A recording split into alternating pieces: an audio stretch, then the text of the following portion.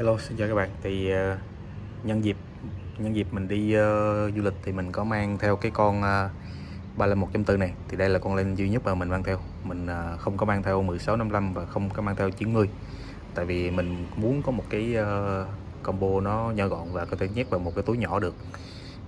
Cái này là do mình gắn cái eo pallet này thành ra là nhìn cái con XT4 nó bự ra.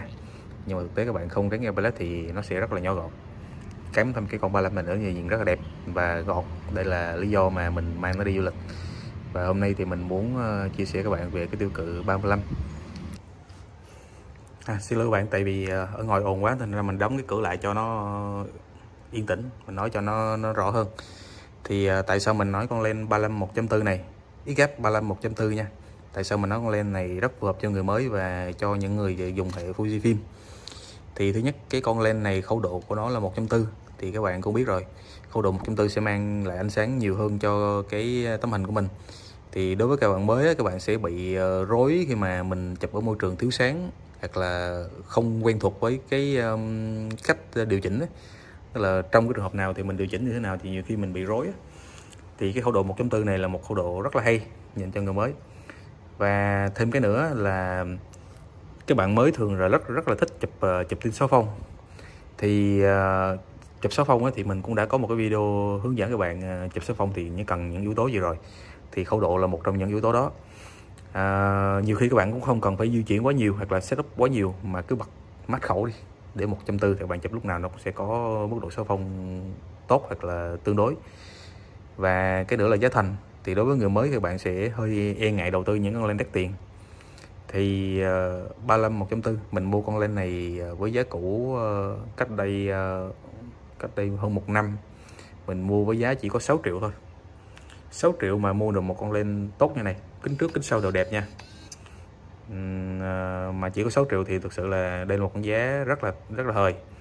Và cái nữa cái cái mà mà quan trọng nhất là cái tiêu cự 35 thì uh, các bạn nào mà chụp hình nhiều rồi á thì các bạn sẽ biết được là tiêu cự 50 là tiêu cự chuẩn với mắt người gần giống với mắt người nhất.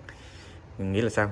Nghĩa là cái con 35 này trên crop nhưng mà cái hệ phân frame á, nó quy đổi rồi hệ full frame nó sẽ là 50 tương đương tương đương với 50 thì uh, tiêu cự 50 á, nghĩa là mắt mình đang đứng ở đây đang đứng ở đây này nhìn ra như thế nào. Thì cái tiêu cự 35 trên crop này sẽ chập ra y như vậy. Nha thì uh, nó gọi là tiêu cự mắt người. Thì mình cầm một tay cũng hơi khó nha. Đó đây gọi là tiêu cự mắt người nè.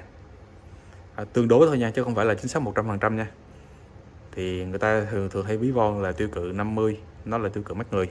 Thì mắt người nhìn như thế nào thì chập y ra như vậy. Thì đây là một cái lợi thế cho những bạn mới. Các bạn mới thường là sẽ hơi uh, hơi lười gọi là hơi lười di chuyển linh hoạt. Ví dụ như mình cần uh, mình dùng con lên fix thì mình phải di chuyển mình phải tiến dù gọi là zoom and cơm á mình phải di chuyển để tạo ra một khung hình đẹp nhất.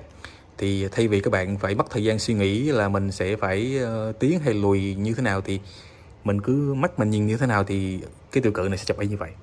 Thì đây là một trong những cái tiêu cự rất dễ cho người mới ha.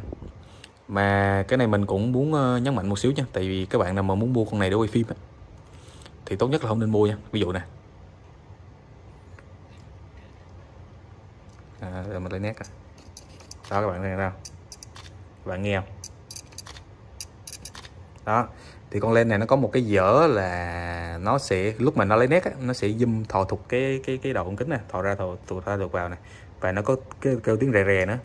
Đó nó thò ra thò vào này thấy không thấy không? Đó. Thì các bạn mà quay phim á, nó sẽ bị dính cái tiếng này vào luôn. Thì tốt nhất là mình không nên mua con này để quay phim. Nhưng mà nói về chụp ảnh thì con này ok nha mình đi uh, du lịch mà mình không mang những cái con uh, đại bác như là 1655 hoặc là con 90 mà mình chỉ mang đúng một con này thôi.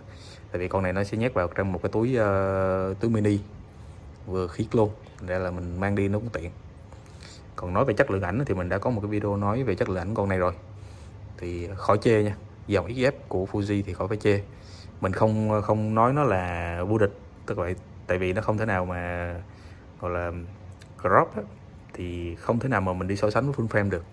Ví dụ như mình so sánh cái con 35 này với con 50 1.4 của ờ, Canon thì thực sự là nếu mà chụp ra cái chất lượng hình thì mình nghĩ là con này cũng không thể nào mà, mà bằng cái con ờ, 50 1.4 được. Bằng bằng ở đây là mình so sánh ờ, mình so sánh nó hơi không không hợp chuẩn tại vì crop thì không thể nào so sánh full frame được. Nó đã có một cái mức độ chênh lệch về vật lý rồi. Nhưng mà đối với người dùng phổ thông á người dùng chụp chơi á hoặc là có làm nghề à, làm nghề cũng được nha. Thì mình thấy là nó vẫn đáp ứng được nhu cầu. Trừ những trường hợp nào các bạn chụp trong môi trường thiếu sáng thì nó sẽ hơi lép bé hơn so với phần frame một tí. Ngoài ra thì không có gì để chê cả ha. À, đối với mức giá 6 triệu thì à, các bạn mới nên mua con này.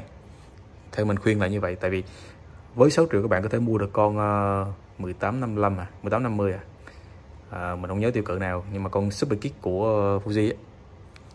nhưng mà Super Kick Fuji thì nó có một cái bất lợi là nó có hai khẩu.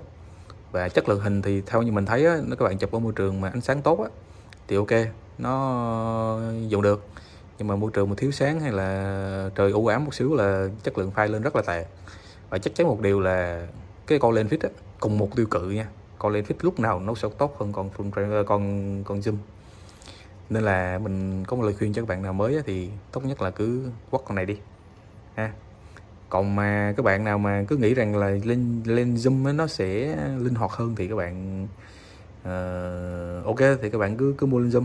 Nhưng mà đối với mình thì mình chụp lâu năm rồi mình sẵn sàng uh, zoom cơm mình sẵn sàng lùi một xíu mình sẵn sàng tiến lên một xíu để mình có được một cái file chất lượng tốt hơn.